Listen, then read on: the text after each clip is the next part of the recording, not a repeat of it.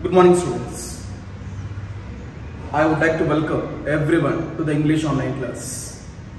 Even though you are at home, we thought to share you some knowledge regarding a few subjects. Among them, so first we will start with English. So today our concept is parts of speech. This is a basic concept, basic concept of every student starting from primary to high school, starting from first class to 10th class. So this is the basic concept. Unless you have knowledge in parts of speech, so it is very difficult to deal with English language. So let me introduce the concept of parts of speech. Generally parts of speech, it is, so it is the categories of words that indicates how a word functions in a sentence. What is the functioning of a word? Not a verb. W-O-R-D word. What is the functioning of a word in a sentence? Sentences form together to make a paragraph. Paragraphs form together to make a, a lesson. So in detail, each and every word, each and every word plays a key role, a major role in English. So each and every word it functions. It functions a different category. It functions a different function. The different functions are here listed these eight parts of speech. So in English we have eight parts of speech. They are number one. It is noun, pronoun. Number three, adjective. Number four, verb. Number five, adverb. Number six, preposition. Number seven, conjunction. Number eight, interjection. Many of you will pronounce conjunction as a conjunction. That is completely wrong. It is a conjunction. J-U-N-C-T-I-O-N. It is a conjunction but not a conjunction. Just correct it. So today we will discuss what is a noun.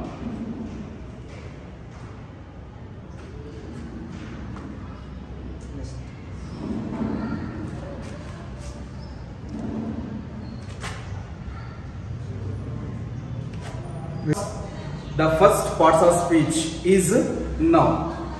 Now, what is a noun? Noun is a naming word. What is a noun? Noun is a naming word which names a person, a thing, place, animal and idea. Noun is a naming word. So noun names a person, thing, place, animal and idea which means all the names of persons which means all our names.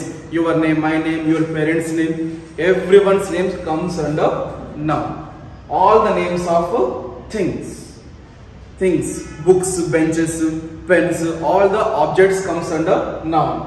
Place. So your place name your city name capital name country name street name area name. So names of the days names of the months all comes under noun. Animal. All the names of the animals also comes under noun. Finally, idea. It may be a strange thing for you, idea. So idea is nothing but it is it is it is called abstract noun which means the thing which we cannot see which we cannot hear and which we cannot touch only we can feel that is idea we will discuss in detail so about idea in the types of nouns we have we have different types of nouns so first type, first type is a proper noun.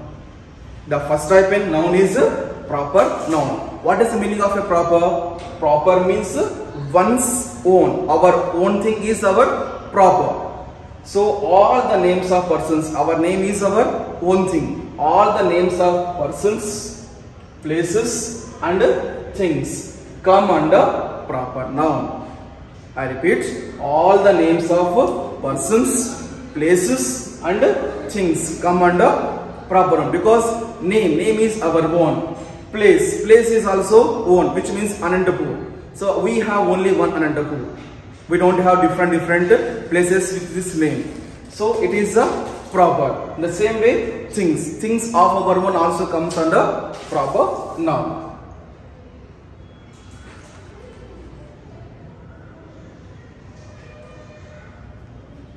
Examples of proper noun.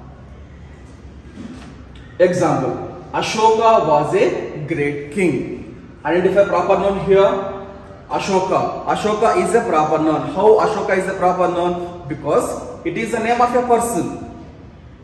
So Ashoka was a great king. Of course, king is also noun here. But we are talking about a proper noun. Ashoka is a proper noun. Then what about king? We'll discuss in different parts, different types of nouns. You can identify what is a king. Next, Amaravati is the capital of Andhra Pradesh. So here proper noun is Amaravati. It is the name of a place. Gandhiji is the father of the nation. Here proper noun is Gandhiji. It is the name of a person. Books spread knowledge. Books. It is a thing. So it comes under proper noun. Next, second type in noun is common noun. The name itself common. What is common noun? The name given in common to a person or thing is common noun. The name given in common to a person or thing is common noun. Example, boy. We can say boy, girl. But boy has different name. That name is proper noun but that boy that the name of that boy is i mean group of group of students is we can differentiate boy girl. Together boy girl together boy and girl come as taken as students. Teacher. And all the professions all the professions comes under common noun. Teacher doctor engineer singer player musician. All the professions comes under common noun though they have, for example, myself, Imran. So Imran is a English teacher.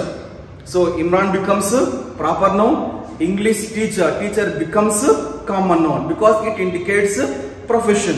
Though I have different name, what I commonly called in the school, I am a teacher.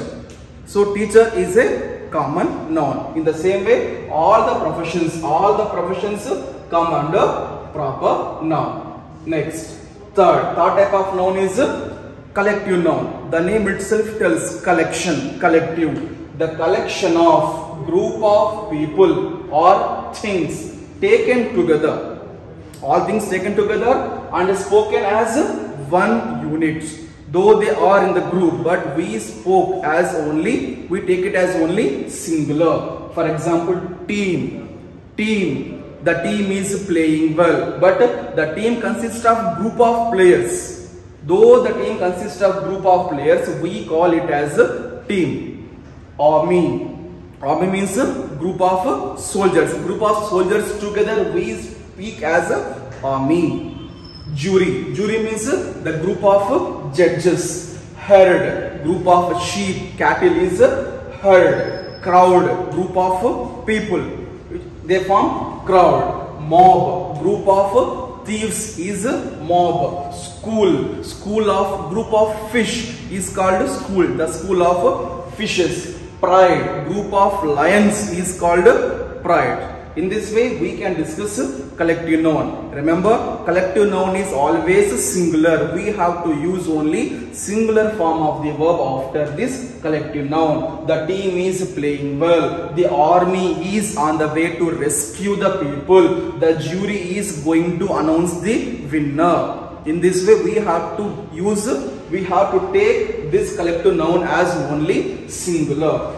And the next one is abstract noun. I told you in the starting itself, idea comes under abstract noun. The thing which we cannot see, touch and hear, only we can feel is abstract noun. For example, knowledge.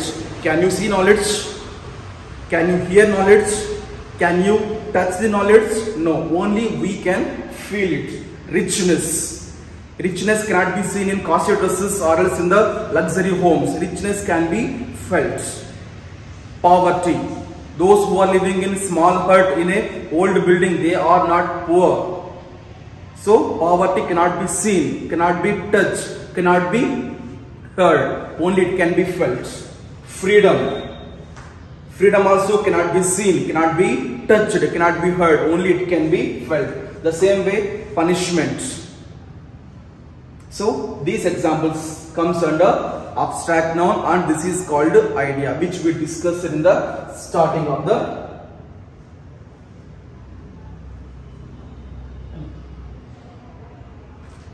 here idea. This idea is nothing but abstract noun. So students today we'll finish this class with this few types of nouns and we have few more types of nouns we'll discuss in the next class so so then students keep keep repeating repeat this video and then try to write the points and learn the definitions of noun. Thank you so much for watching. So have a good day. Thank you so much